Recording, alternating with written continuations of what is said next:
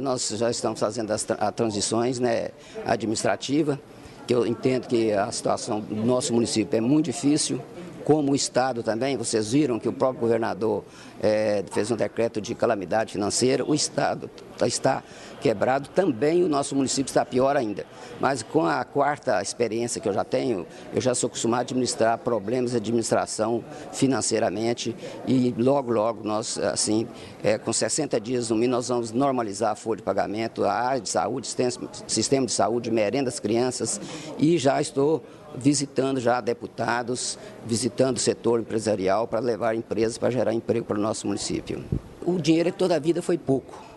Nunca veio dinheiro sobrando para o município. É você aplicar o dinheiro certo no lugar certo e não desviar dinheiro. Que infelizmente ocupa o país, a situação que está, 98% ocupa os prefeitos mesmo. Vem dinheiro para a saúde, eles não aplicam nem 10% do dinheiro da saúde, dizia eles.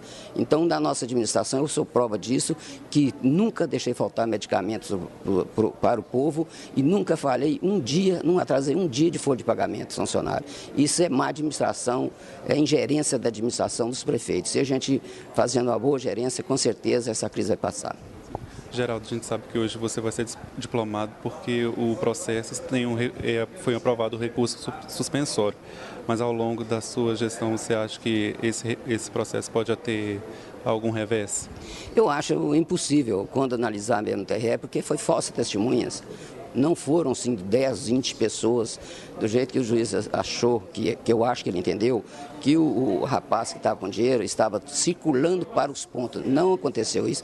E simplesmente ele estava levando dinheiro que foi colhido na, na sexta e no sábado que doadores todos, todos legalizados, que o banco estava fechado, deu cheque para pagar os pessoal no sábado, mas como ia pagar? Não podia pagar em dinheiro, tinha que pagar em cheque. Deu o cheque na, na segunda-feira que o rapaz, o tesoureiro, o, o secretário do, da coligação, iria entregar o dinheiro para a tesoureira para depositar na segunda.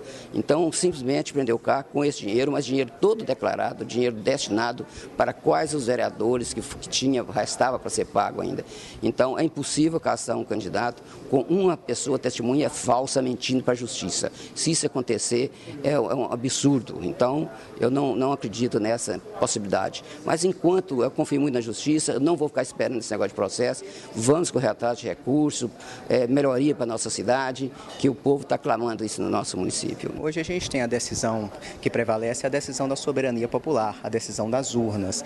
E dentro de uma democracia, o mandato eletivo, a soberania popular é uma coisa séria.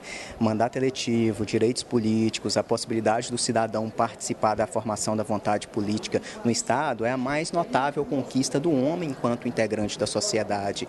E, então, para que se casse um registro, um diploma ou declare a perda do mandato eletivo, isso só é possível mediante robustas provas. Né? E quando a gente está diante de uma testemunha singular, de uma prova frágil, isso não deve ser levado em consideração por uma decisão de tamanha gravidade. Então a gente tem comparado esse caso aqui de Patinga, né, caçando o registro do prefeito eleito de Paba, ao caso dos irmãos Naves, com um dos maiores erros judiciários da história do judiciário brasileiro. Mas a gente acredita na justiça,